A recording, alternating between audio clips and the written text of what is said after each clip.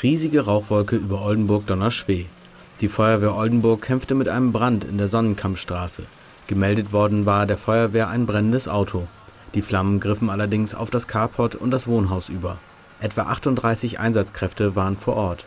Nach knapp zweieinhalb Stunden waren die Flammen gelöscht. Verletzte hat es nicht gegeben.